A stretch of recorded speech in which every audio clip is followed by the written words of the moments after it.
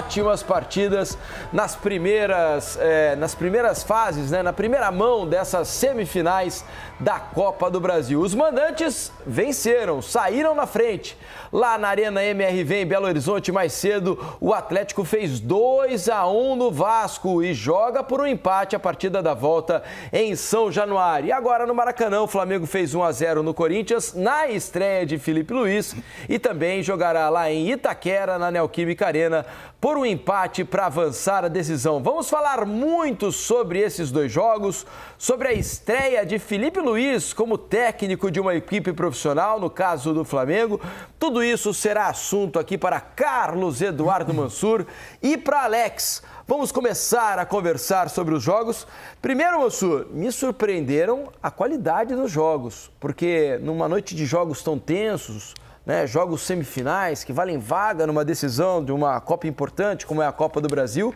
Tivemos dois jogos de muito boa qualidade, né? Além da emoção dos jogos, qualidade técnica, né, Manso? Pelo menos a mim agradou muito a quarta-feira. Boa noite, a você. Boa noite, Felipe.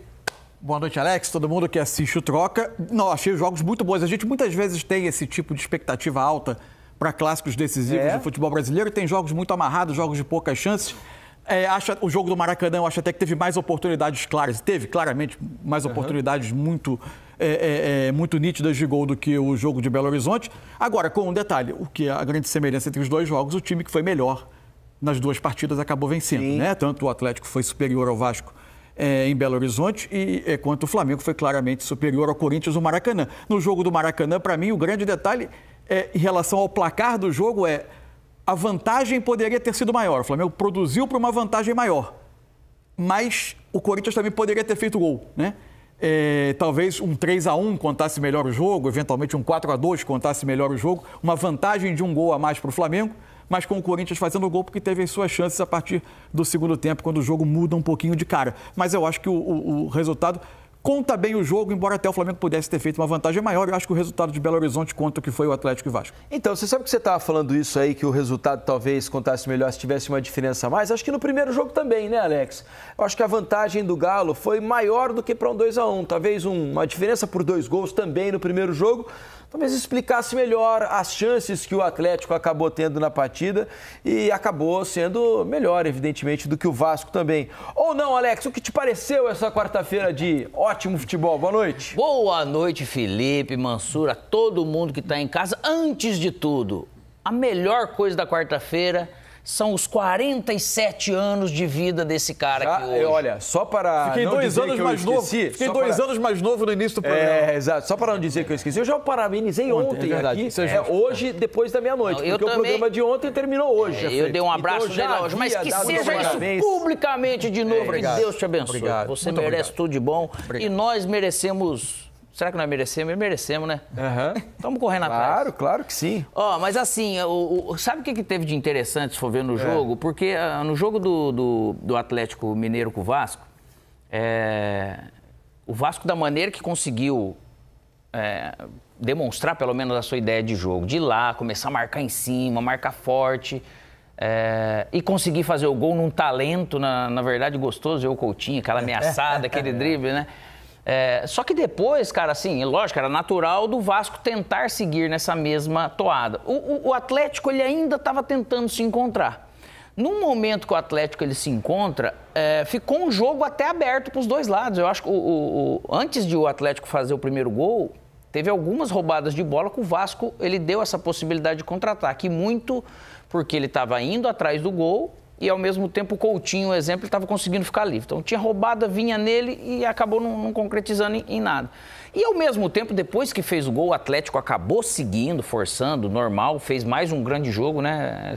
Perto daquilo que a gente espera dessas individualidades deles, ainda mais como, como elenco e como time, num momento importante. Só que daí ficou um jogo agradável, porque não ficou aquele jogo chato de você ficar aqui é, esperando praticamente o que ia acontecer. E eles jogaram o jogo. E realmente o Atlético ele poderia ter feito, lógico, mais gol do que o Vasco.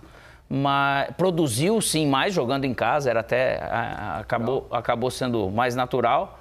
Só que são dois jogos e ainda tem esse lado interessante, que vão ser decididos é, não foi nada decidido agora, vai ficar interessante esse, esse retorno. É, as classificações estão completamente abertas aí para a próxima partida, né? Tanto lá em São Paulo quanto no jogo aqui do Rio de Janeiro, é, em São Januário.